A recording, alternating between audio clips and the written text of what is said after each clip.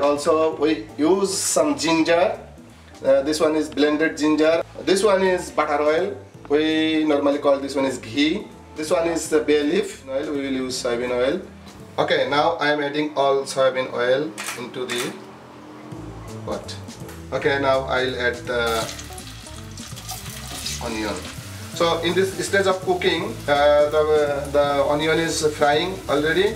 Uh, so in this stage maybe we can go for washing our uh, rice and also pulses for because after uh, uh, hitting this one, finishing this one, I will add rice and pulses inside of this uh, pot.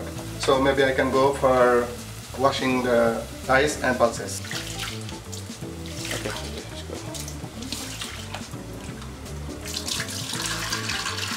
Then we will uh, put them in the pot. Now it is almost uh, browning this onion. So before brown, I want to put some other ingredients like uh, all uh, uh, ginger. I now add, to, add the ginger to this uh, with them and mix with this. I have to fry also ginger with oil. Now also add all the cumin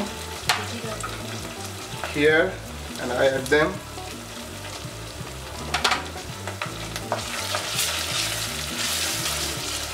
And mix with all of this uh, oil and onion. And I also add this uh, bay leaf. Maybe I can turn this one. Then it will be uh, fragrance more and it will be scented the whole things. I will also add um, cinnamon to three four pieces to increase the scent and also the taste. Now I am also adding cardamom.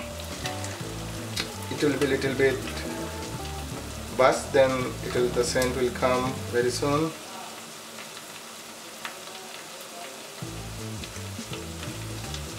Okay, and mixed all of them.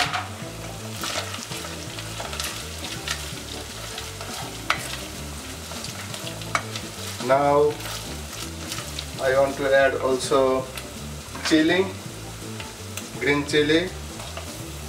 Then it will also a little bit fried. I will add all the green peas. I want to fry it then. And also I will maybe add